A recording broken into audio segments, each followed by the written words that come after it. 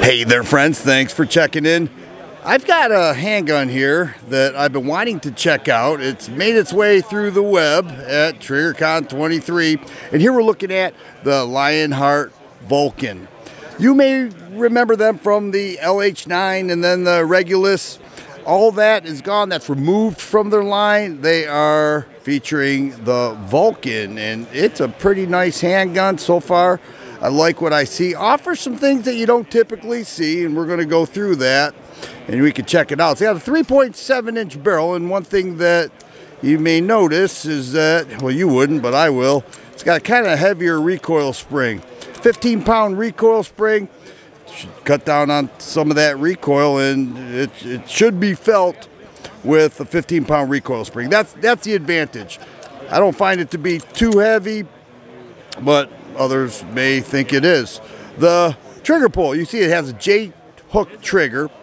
You're looking at about five, sometimes five and a quarter pounds with a reset right there. Very short reset, but if you know anything about Lionheart, you can bring that hammer back. This is called double action plus, and you push that forward. So basically, when you do pull the trigger, it brings you into single action. So it's not a straight five pounds, right? So you put it in double action or single action, move it into double action, nice light pull to bring it into a fire position. Interesting concept. It has stood the test of time with Lionheart.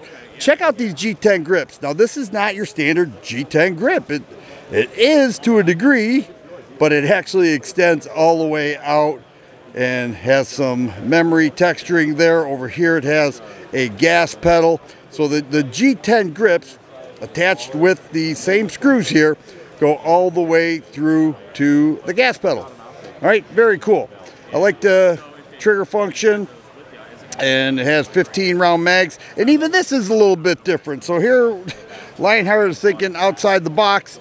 It has this piece here. It's actually a Tool T10 Torx and a flathead screwdriver for your grips, your optic. How many times have you gone to the optic and didn't have the right tools if something went wrong or it got a little loose on you or something like that? This is embedded right in on the magazine, right there. So you punch it out, you have those tools available. Two slot pick rail. This here is Cerakoted. And this is not the standard color. This would be an extra charge right around $1,500. But the standard one's going to be all black and you're looking at $12.99. And so that's what you're looking at with this. Now it does have an aluminum frame. Has a slight undercut in the trigger guard. 15 round magazines and it's called the Vulcan. The optic you can see here, Holosun 507K. It will fit a RMS footprint and uh, that's pretty popular for a a gun that is pretty much for many people would be a carry pistol with the aluminum frame, 3.7 inch barrel, optic ready. Serrated black rear sights can co-witness. Then here we have a fiber optic front sight. I'm going to shoot this at range day. I can't wait to do that because I want to check out the double action plus. It's been a while. I've reviewed the LH9 years ago, but that, that single action trigger pull is nice and I, I think that reset is very short.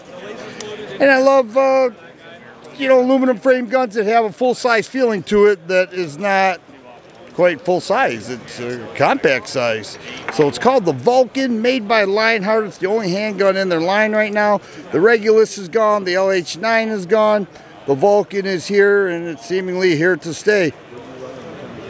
Ambidextrous, thumb safety. All right, so I had to figure that out. You push it, you push it up that way. Basically, you push it under there. It's very unintrusive, doesn't stick out much.